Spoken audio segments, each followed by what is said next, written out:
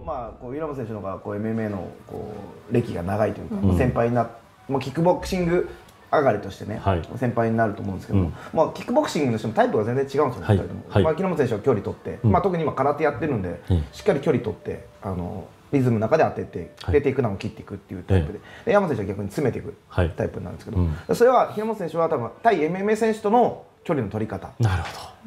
っていう選択の中の戦い方だと思うんですよ、今度逆に山本選手がタックルがまあほぼない。はい。ていうことを少し頭の中で余裕があれば、まあ、距離も詰められたりいつも通りのキックボクシングの今までやってたキックボクシングの戦い方をできると思うんですよ。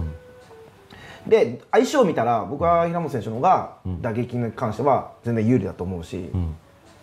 でそのプラス今度は平本選手がテイクダウンもできたりうん。することが、この間の斉藤選手の戦い見てる限り、まあ、そのバック取って投げたりとかしてたんで組み技の自分からテイクダウンアタックすることも絶対できると思うんですよ、はい。そういう意味では平本選手の方がやっぱ有利なのかなっていう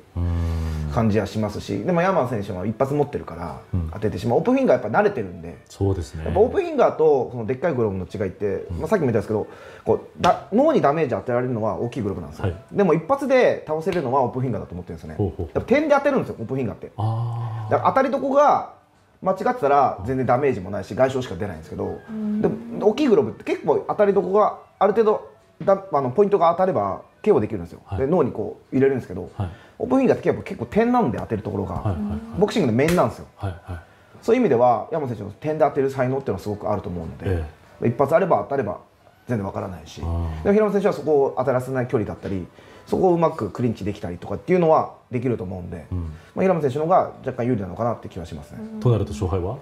判定で平本選手かな。お判定で。うん